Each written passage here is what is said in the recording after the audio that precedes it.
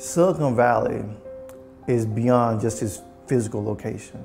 It's a mindset, it's a culture, it's a community of opportunity, it's a community of hope, it's a community of risk takers.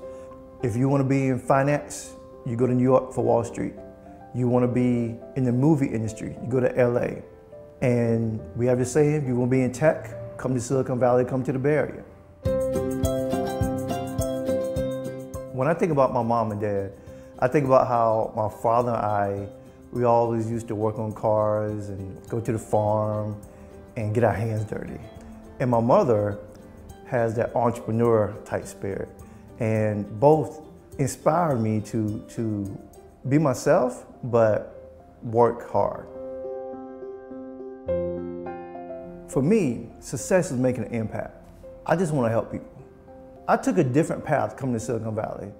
I came here not with a startup, I came here with a solution, an opportunity to make impact to create wealth, relationships, and education for people who look like me. At the time, in 2011, the community, the tech community, said it was a meritocracy. It didn't matter where you come from, what you look like. It's an equal level playing field for everyone. And it was a lie. It was a flat out lie.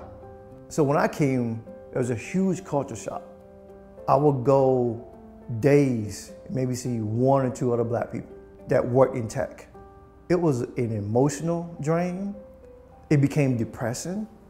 It, it was a wake up call. And I had to really dig deep and start working on self care, my confidence, to know and believe that I deserve to be here just like everyone else with an idea or a dream or with a passion to create the next great startup or a program that can educate and impact underrepresented entrepreneurs.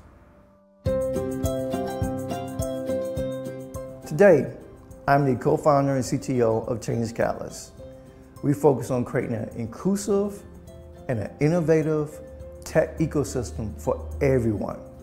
We host the Tech Inclusion Conference, Career Fair, and Startup Showcase across the world.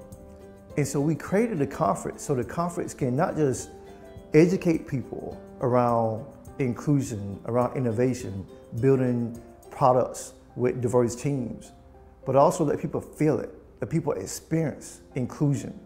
There's several tech companies in San Francisco and Silicon Valley. You can walk in, you're lucky if you see one black person, one Latino person who is not security person.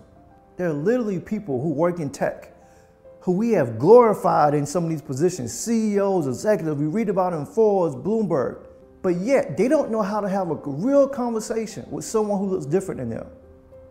Just because I'm black, or I could be LGBTQTIA, I could be Muslim, I could be Indian, there's this notion that I can't be just as good as you.